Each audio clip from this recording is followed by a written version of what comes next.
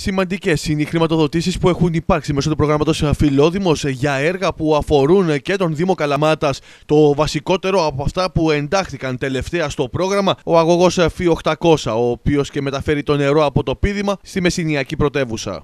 Πάρα πολλά έχουμε πει σε εσάς για το Φιλόδημο, τα ξέρετε κι εσείς. Ένα πρόγραμμα ανάλογο με το Θησία ή και καλύτερο. Εγώ υπενθυμίζω και πάλι το έργο στρατηγικής σημασίας το οποίο εγκρίθηκε κατά παρέκκληση σε κάποιο βαθμό από το Φιλόδημο είναι ο νέος αγωγός ΦΙ 800 από το πίδημα μέχρι την Καλαμάτα και τη Μεσίνη που θα λύσει τα προβλήματα υδροδότησης για τα προσεχή χρόνια για την πόλη μας. Ήδη έχουμε κάποια προβλήματα και στη Βέργα και στην υψηλή ζώνη ιδιαίτερα της Καλαμάτας.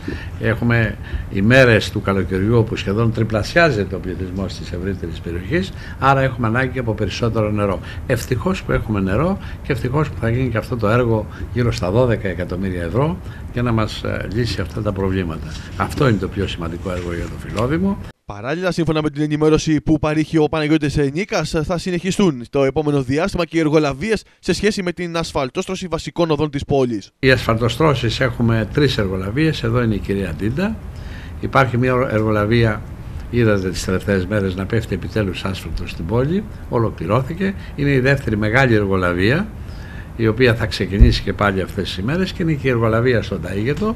Κάνουμε έναν αγώνα δρόμου ώστε το οδικό δίκτυο στον Ταΐγετο να μην έχει κανένα πρόβλημα εν ώψη των ε, πανηγυριών του καλοκαιριού επάνω στο βουνό και θα το πετύχουμε αυτό.